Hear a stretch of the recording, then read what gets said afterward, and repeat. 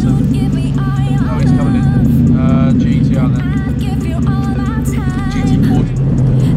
Yeah, clutch off. That's the one. We'll only do that once a lap, don't worry. uh, to the right. Off the clutch.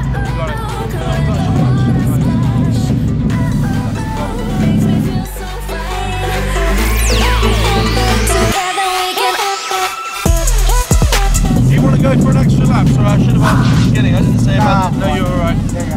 Left here, left here, on the brakes, through this one there.